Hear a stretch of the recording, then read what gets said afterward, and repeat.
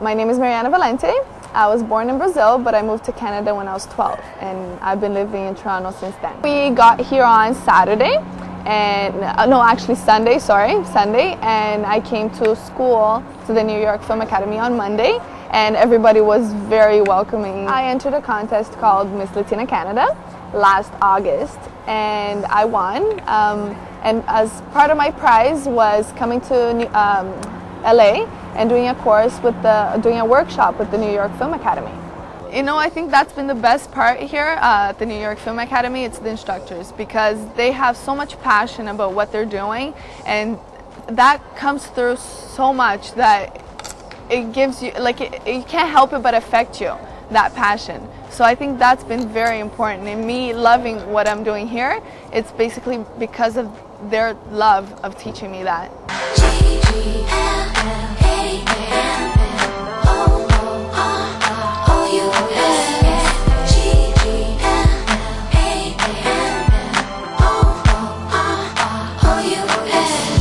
Well, today we're filming. We're doing a short film with the filmmakers and the actors that um, have been in the one week program. And basically, I'm shooting two uh, short uh, clips. Uh, one uh, where basically I'm, I'm walking down the street and a car hits me and I die. but it's a silent film. It's very much fun. I haven't done the second one yet, so I had one this morning and I'm having one this afternoon.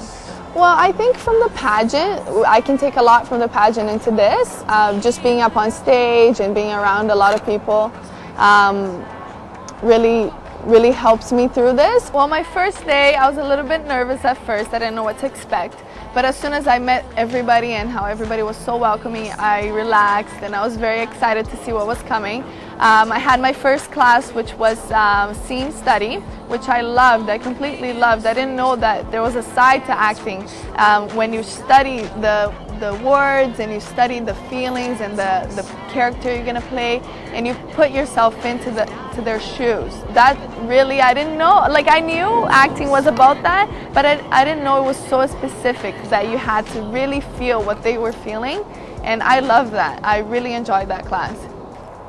And uh, my future goals is basically going to Miss Latina, doing a good job there uh, for the world competition. And after that, continue with this, continue with modeling. Uh, hopefully, if um, acting, uh, we'll see how that goes.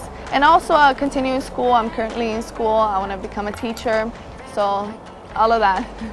Well, if I knew somebody that would want to come to the New York Film Academy, I would tell them that uh, this experience of learning more about yourself through this passion, um, having passion for something, the, new, the, New York Film Academy gives you that. They give you that. They give you that um, opportunity to learn more about yourself and to be passionate about something.